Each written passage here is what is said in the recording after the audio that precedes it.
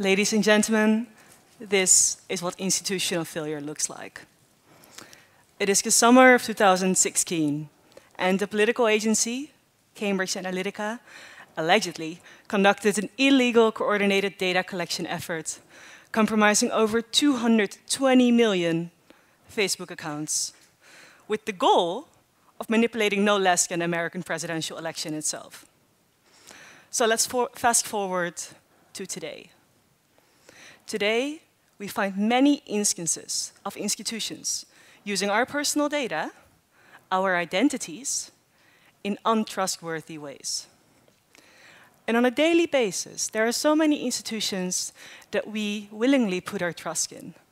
What are we going to do when these institutions aren't functioning the way they're supposed to? What are we going to do? Corporate institutions control our digital networks. They control our services, whereas governmental institutions govern our voting rights, our healthcare, even our very democracy itself. So before and during the 20th century, institutional failure was relatively easy to spot. It involved a military coup or a revolution of some sorts. However, in the 21st century, it is not that easy anymore. It is different, and in some ways, I would say more scary. What is happening is that we see a slow, gradual erosion. So this opens up a terrifying possibility. Namely, democracy could fail while remaining intact. And all of this has to do with personal identity. At the core of this erosion are you and I, billions of individuals willingly feeding our personal data into the institutional machine. Do you know who knows who you are? Do you know how many algorithms make decisions daily based on your behavior? If we don't understand what role we play in this infinitely complex web we have created, how can we hold institutions accountable? Do you even know who has access to your passport data right now? So if we lose our identities, this is something we need to take very, very seriously. No company is going to live forever. No government is going to live forever. Yet, we've willingly placed our trust into these impermanent institutions. Today, in Syria, there are many, many of its citizens trying to reclaim their identities. Because if you don't have a formal identity, you cannot vote. If you don't have a formal identity, you cannot work. If you don't have a formal identity, you don't count. Actually, over 2 billion people in the world have no documents. So no papers, no prospects. This must change. We need a new way to reclaim our identities. And surprisingly, blockchain might have an answer. Blockchain-based identity could be our fail-safe, a way back when institutions are eroding. Blockchain-based identity could help us pave the way for a more equitable form of democracy. Let me show you what I mean. Right now, we're all like little dots. And we have relationships with big dots, the ones who control the flow of information. Facebook, Google, governments.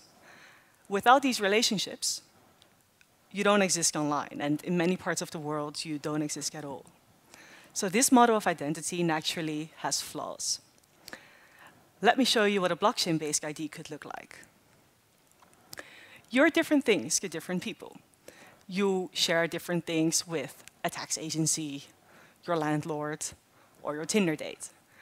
And within all this complexity, it becomes clear that it doesn't make sense for a couple of big dots to have a monopoly on all your identifying data.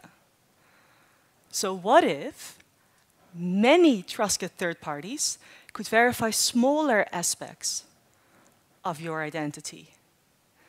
This is a complete paradigm shift. Modern identity is a web of relationships. So why wouldn't the person to connect the dots be you? We all know that there is an obsession with over-collecting data. If you go to a hotel, you're asked for your ID and your passport. The very same documents you use to cross borders. So who knows what's happening with this information the next day? So ask yourself this, why wouldn't we limit identification or information requests to a need-to-know basis?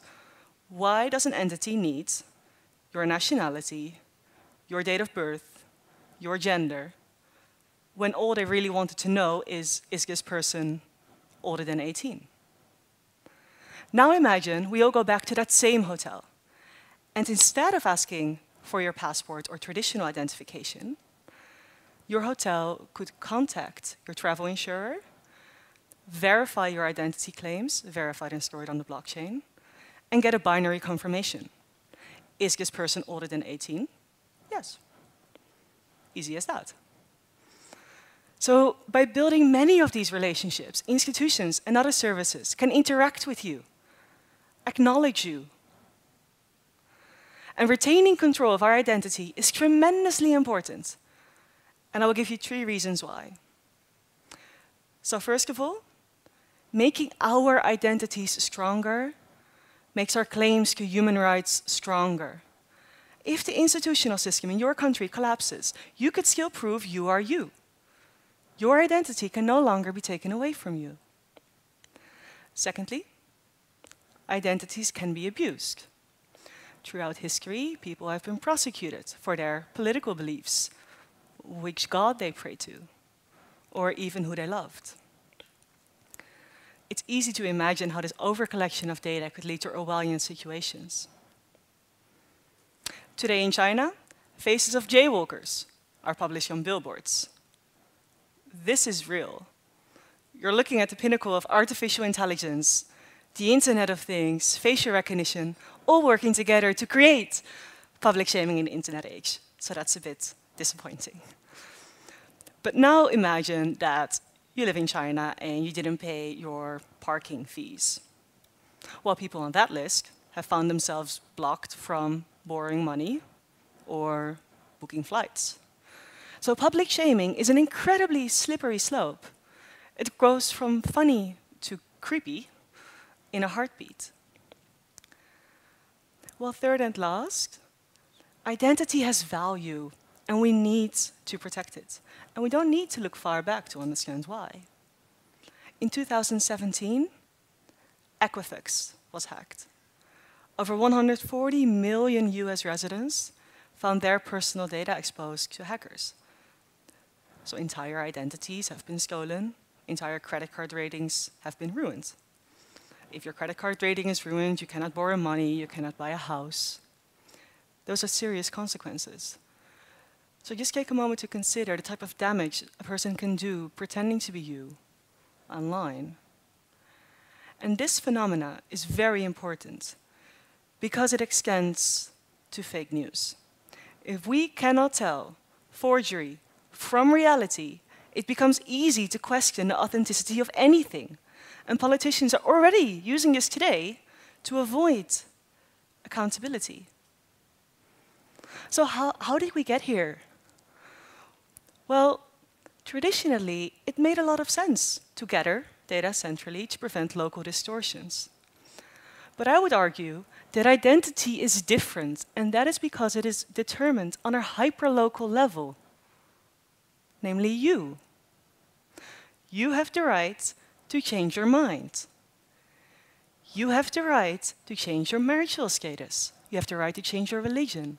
And you also have the right to, change, to share this information in a way that it won't be used against you.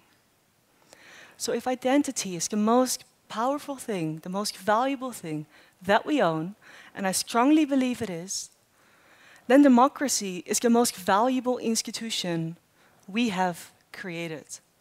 Democracy allows us to institutionalize our voices, creating a world in our own image. But it stops working when we lose our voice. So how do we reclaim our voice? Our voice to inform companies, not ask. what information we are willing and not willing to share. Our voice to speak loudly to governments and be heard. By removing the monopoly of identification from corporations, from governments, blockchain-based identity can turn the tide. Identity is a fundamental asset of interaction. It is the very first step towards humanity in our data-driven society. We need to be able to control our own identities, because that is the basis of democracy. Thank you very much.